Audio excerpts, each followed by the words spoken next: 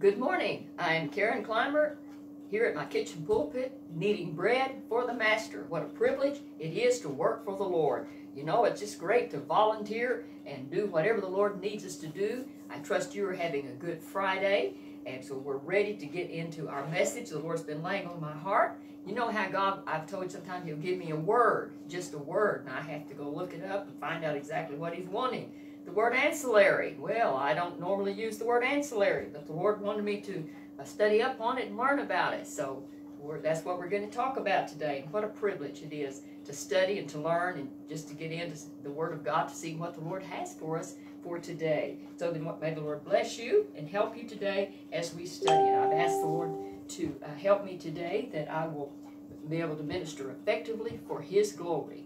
That's what I want to do. All right. Ancillaries needed for breakthrough. There's a marvelous scripture that I've loved for years and it's recorded two places in the Bible. It's in First Chronicles and also then in Second Samuel. So I'm going to read our text for today. So they came up to Baal Perazim, and David smote them there.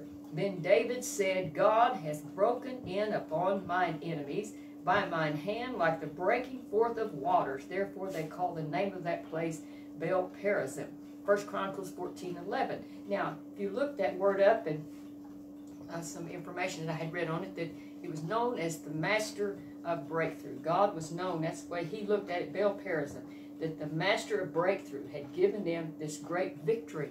It was it was something he needed, but he had just been made the king, and here come the Philistines. Isn't that something?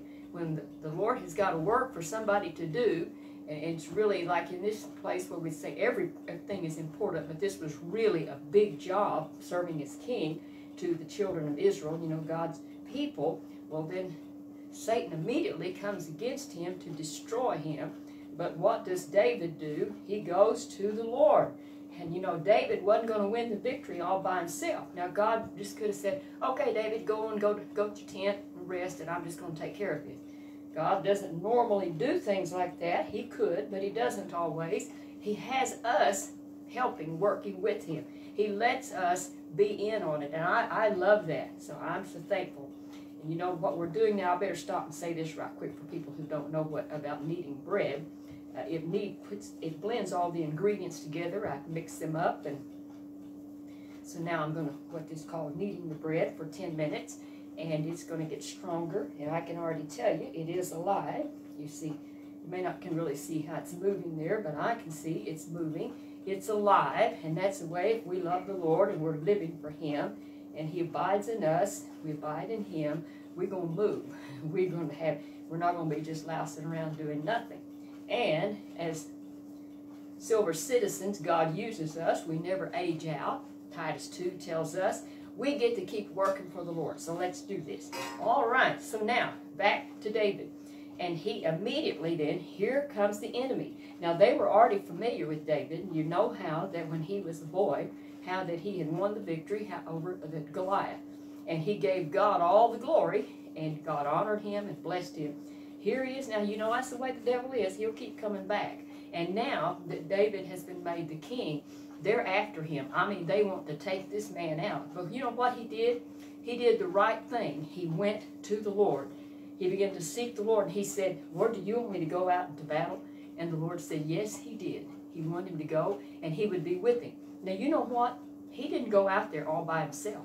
He had ancillaries. He had those subordinates that were there. They were helping. And, and you know, he would have had like an armor bearer, and he had all this army went out. He was the leader, but then there was these subordinates, the ancillaries. And so never underestimate the Lord be able to use you.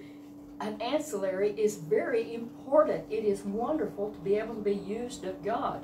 You think about this sometimes. We don't usually use that word ancillary, but I know you've had a situation where somebody said, here, will you hold this light while I do this, or something they're doing, and they can't hold the light and do that, the job at the same time. Okay, you were important. You weren't the one actually doing the job, but yet you served as an ancillary, subordinate. You were there assisting that person. You were valuable to them in order to complete the job. And I think Satan is wanting to tell people, uh, make convince them that you have no use. You are of no value. And I, I just want to knock that in the head right quick. Know that God has a purpose for each and every one of us. So let's know this. Victories, as I said, aren't usually won by one person alone, but these ancillaries can provide. You think it as children of God, we're to be the salt of the earth. You think salt is just a simple thing, it's a small thing. But the Bible says if the salt has lost its savor, you know, it's useless. You just want to throw it out. So we want to be people that we are the salt of the earth, that we're polite, we're courteous, and we're we minister, we, and we're just everything about us just bespeaks the fact that we're like Jesus, that we're kind, that we're gentle. And he said we are to be the light. We can all do that. I don't care who you are. It doesn't matter what your uh, place in life is. If you are rich or poor or in between, we can everyone be salt and we can let our light shine. And you know, I think a smile, you know, that's where the light shines through a smile. That we smile and we minister to people with grace and, and just, it can be simple things that they need. It might be they just need a door open for them, but they don't have anybody to do it for them. You take an older person sometime or somebody that is disabled, we can be, we can be the salt, we can be the light, and don't forget this, your, your voice. The Lord really impresses on my heart the importance of the voice. Let him hear your voice. He wants to hear our voice. When we worship him, you know, voices are distinctive. Uh, I know in working in the banking industry, there was people when we picked up the phone and they called in before they ever said their name. You knew them because in some cases their voice would be so distinctive that you just, it was just like nobody else's. And the Lord knows our voice, and there's nothing like it when somebody speaks our name. Somebody that you love, and when they speak your name, have you noticed that everybody says your name just a little bit different? My husband says my name, which he doesn't call me my name very much. He usually calls me like honey or sweetheart or darling or something good like that. And not that my name's not good, but he says my name different than anybody and, and this is the way it is. People say our name different, it's distinctive how they say our name. The Lord knows us by name, and He hears, He wants to hear our voice. Yes, when He hears our voice of praising Him and speaking that we love you, Lord, we wake up in the middle of the night and we say, Jesus, I love you. Jesus, He knows immediately.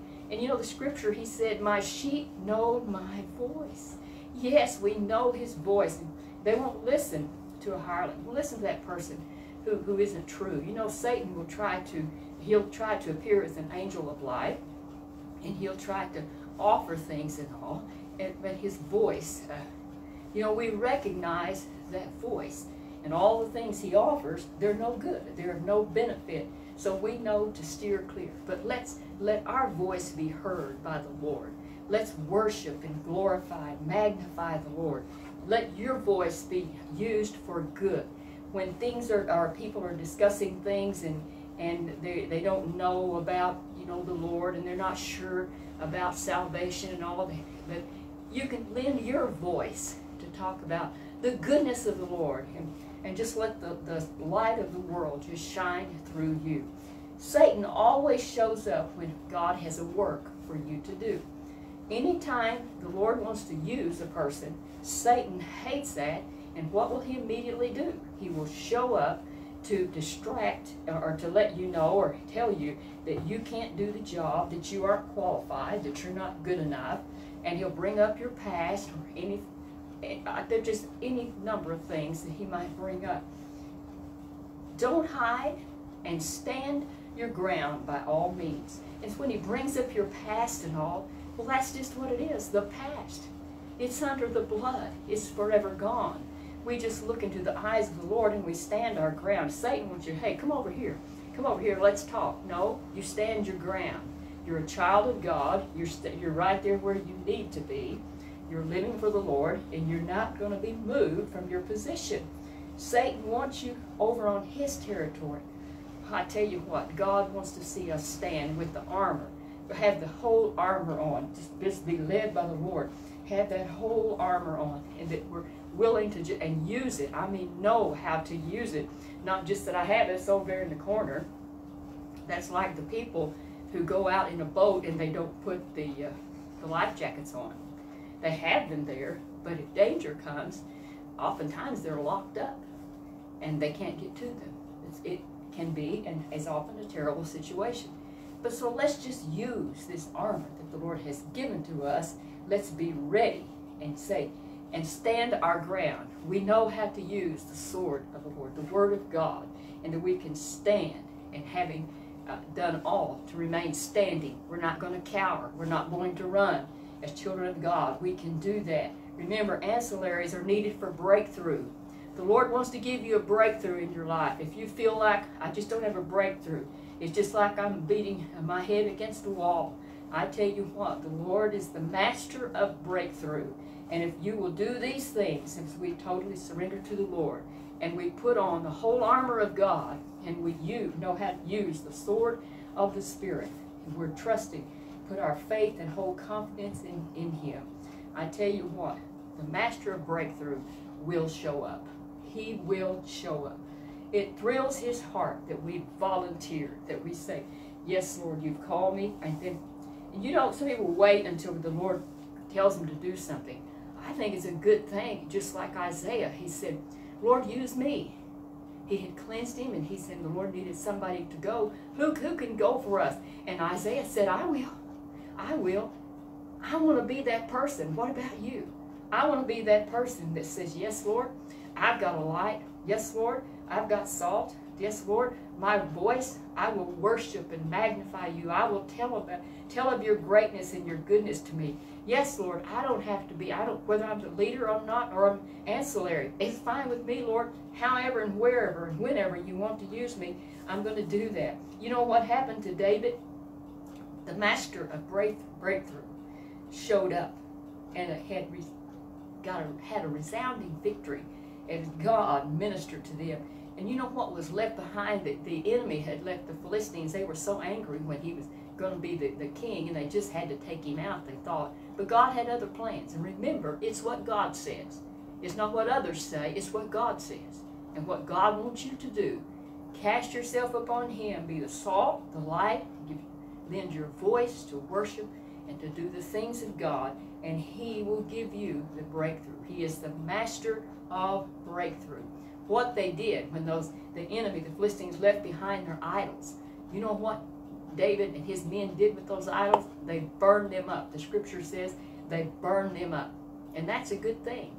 There's another place in the Bible that I remember reading of how that uh, they, they took down the idols of the enemy, but they didn't destroy them. And what happened when that king died, when his son came in, you know what he did? He went and found the idols, and they began to worship them. I like what they did, destroy the idols. So if there's any kind of an idol in your life, it may not be one you bow down to, but there's something in your life that is a hindrance to you, keeping you from being who and what God really wants you to be, I tell you what, the master of breakthrough is there to help you, and when you win victory, destroy all the idols. He said they burn them up so nobody else could get hold of them. I love being an ancillary. Love being an ancillary. We should do that. If we're leading or we're not, wherever the Lord wants us to be, we all can offer salt, light, and our voice. And remember, the Lord loves it. He uses all of that. I just am thankful for the privilege to love Him and to serve Him. I love being an ancillary. Yes, there's work for you to do, and the Lord is listening and wait. Don't don't wait. Say, well, He hadn't said he, he hadn't called me. It shouldn't be that He has to tap us on the shoulder. We should be always saying, Jesus, I'm ready to work for you. Anything else? I've been doing this. You need something else for me to do? Lord, I'll do it. You're my Savior. You're my soon coming King. You are my Redeemer. I'm ready to work for you. The Lord loves that when somebody is ready instead of saying, well, now I can't do this and I can't do that. Well, now I don't know. Don't, doesn't want that kind of a person, but a person that says, it's not all about me depending on me. I'm depending on the Lord. And to say, Lord, with your help, I'm going to do it. I can do that. I know you're going to help me and I love you and I trust you. Yes, I'll be an ancillary. Ancillaries are needed for breakthrough. Yes, and if there's a breakthrough you need in your life, Jesus the master of breakthrough is there to give you the help that you need. May the Lord bless you and keep you. And remember that there is a work for you to do. Be strong in the Lord and the power of his might. And then we can rise to every occasion. Just like this bread, as this dough is going to rise, we can rise to every occasion. And we can be strong in the Lord and the power of his might. And remember, it is God who is at work within you, giving you the will and the power to achieve his purpose. Philippians 2.13 from the Phillips, J.B. Phillips translation. May the Lord bless you and keep you. Look forward to seeing you next Friday around 11.30. Goodbye.